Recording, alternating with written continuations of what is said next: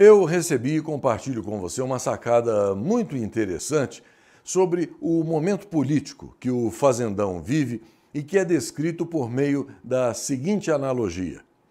O cara se separa da esposa, conhece uma nova mulher e se casa com ela, que assim passa a fazer parte da família. Essa nova mulher é esbanjadora e vende todos os bens sem o marido saber, torra toda a grana com ele e as crianças. Um dia, a grana acaba e ela dá no pé. A mãe das crianças volta para casa e começa a recolocar tudo em ordem, mas com a nova realidade de gastos controlados, a molecada sente falta da madrasta, porque, como eles dizem, no tempo dela que era bom, a gente vivia gastando dinheiro, viajando.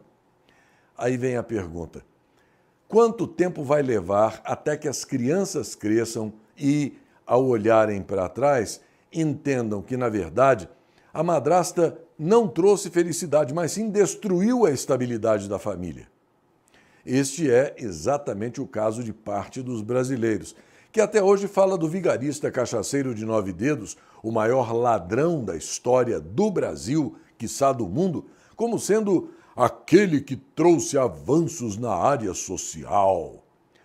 O criminoso Petralha, desculpe a redundância, né?